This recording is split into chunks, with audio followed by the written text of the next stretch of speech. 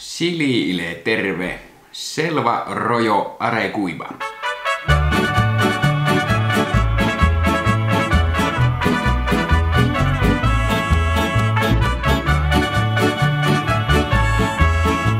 Tämänkin chilin mä sain Itämiehen Arilta paikallinen chili-harrastaja. Iso kiitos Arille ja iso kiitos Ronjalle, joka oli ihan itse valinnut ja poiminut ne chilit, mitä mulle maistelu annettiin. Ja rokotohan tämä on. Kivan näköinen podi. Mä tykkään tästä väristä, että on vähän tämmönen matta punainen, kun yleensä on semmonen kirkkaan kiiltävän punainen se pinta, niin tässä on tämmönen vähän mattamainen tää pinta, mä tykkään. Painoa löytyy yllättämäkin paljon näin pieneksi podiksi, mikä on rokotolle hyvin tyypillistä, koska ne on paksulihaisia. Ja rokotolle ohjeena kasvatukseen on se, että liian kuumaa ei saa olla. Vuoristosta ovat kotoisin, niin siellä ei ole muutenkaan älyttömän kuumaa, että se missä chinenselle saa ja pitää olla erittäin lämmintä, niin rokotolle ei saa olla liian kuumaa. Yli 30 asteen käytännössä ei kannata sitten mennä. Ja rokotet tykkää siitä, että lämpötila vaihtelee. Vuoristot chilejä, niin illat on, tai yöt on viileitä, päivät on lämpimiä, niin ne tykkää siitä, että se lämpötila vaihtelee. Ja sitten kun leikkaamme tämä auki, noin, niin tuoksutellaan ensin. Just oikein, oikein rokotomainen, rokotomainen tuoksu tästä kyllä. Mukava, mukava tuoksu lähtee. Semmonen tuota, mehe, mehevä tuoksu, jos näin voi sanoa.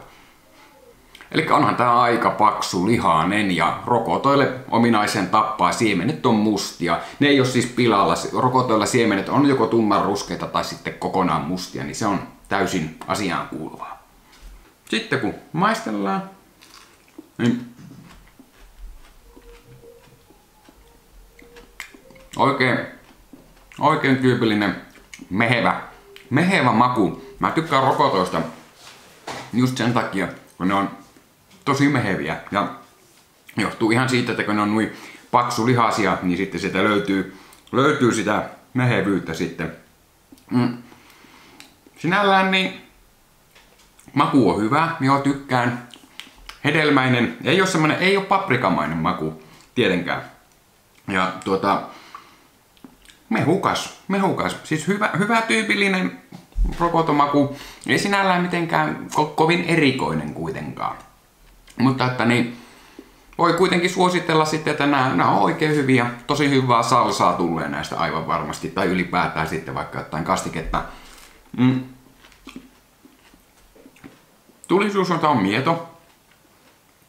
Vaikka ottaa suoraan tuosta siemenkarrastakin otti, niin ei ole silleen, silleen juuri polttava.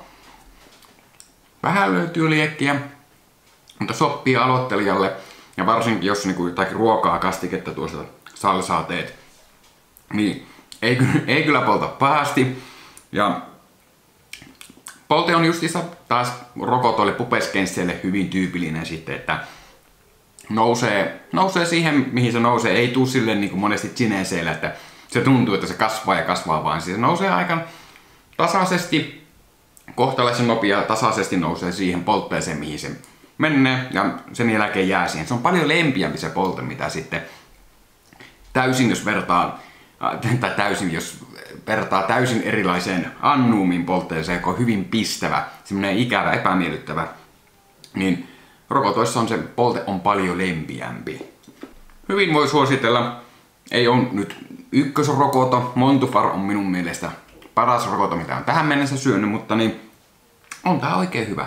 Voi tätä oikein mielellään suositella.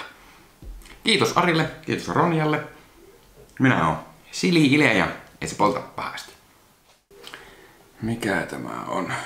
Silile Telrit. Kiitos Arille ja kiitos restit silit sillä vähän niin... Ei, ei vieläkään. Tämmönen pötkylä ja... Mm, mm, mm. Punaisi kuin kaikki muukin on. Miksi ei? Nyt ei oikein. Rokotot ja pupeskensit yli...